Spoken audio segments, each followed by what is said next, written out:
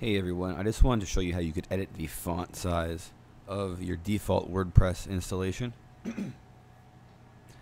the default font size is actually too small.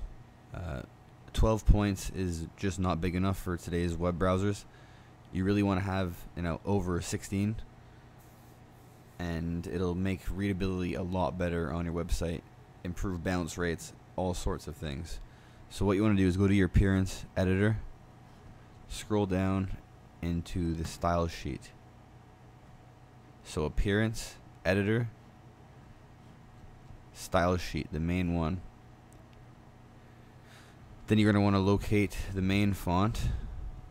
And there it is right there. Body font, 12 pixels. Change it to 17 or 18.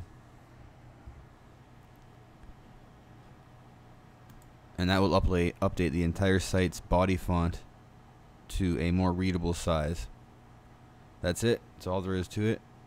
And I do suggest you make that change. Don't forget to hit subscribe. I'll be updating this channel quite often over the next couple months. Take care.